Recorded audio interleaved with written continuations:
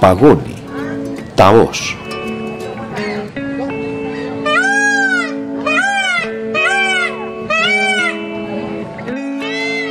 Το παγόνι ζει στην Ινδομαλαισία. Έχει παράστημα μεγαλόπρεπο. Το αρσενικό παγόνι, όταν σηκώνει το φτερώμα της ουράς του, σχηματίζει πολύχρωμη βεντάλια.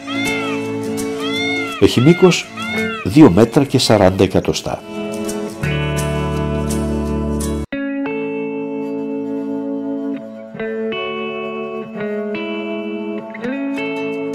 Το κεφάλι του είναι μικρό, με χρωματιστό λοφείο στην κορυφή.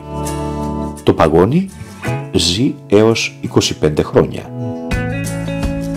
Τρώει σπόλους, σκουλίκια, καρπούς κλπ.